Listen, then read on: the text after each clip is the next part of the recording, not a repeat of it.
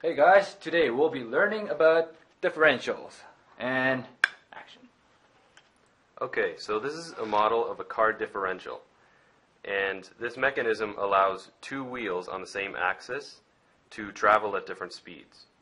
And cars need this because when they go around corners, uh, the outer wheel travels faster than the inner wheel because it's farther away from the center of the turn.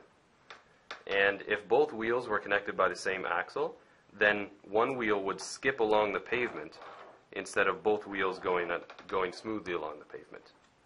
So I'm going to turn on the motor. And you can see both wheels are going forward now. If I stop one wheel, all the power is transferred to the other wheel. And same with the other side. If I stop this wheel, power is transferred to the other wheel. All while the motor is going at a constant speed. And here are some real life examples.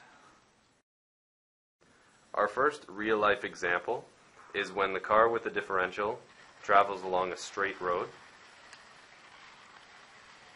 and both wheels go at the same speed since it's not turning at all. Our second example is a turn. And here, the inside wheel travels much slower than the outside wheel since it has less distance to turn or to travel.